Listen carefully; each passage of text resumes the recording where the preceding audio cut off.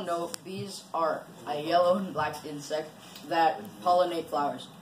But what they also do is they actually help to spread um, the seeds of other plants, which is why um, we now know that bees actually pollinate one third of the food that we eat, which, if you think about it, is a lot.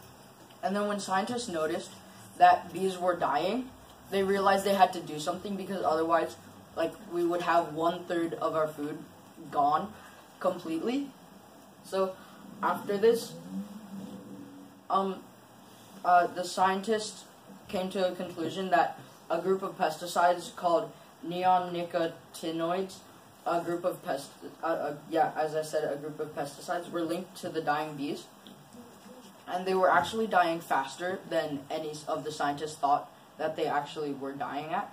So Avaaz uh, stepped in and then created a petition to force the EU to ban these this group of pesticides, and they actually got 2.6 million people to sign this.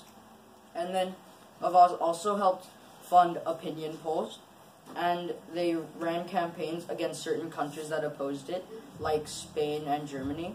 So they would go to those specific countries and then run campaigns in those countries, and they actually got both Germany and Spain to switch sides.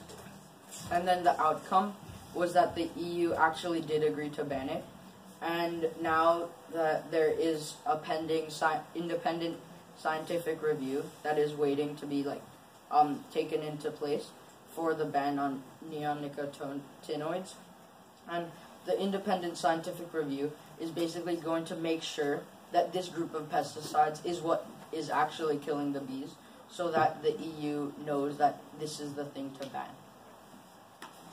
Wow, so it's happening.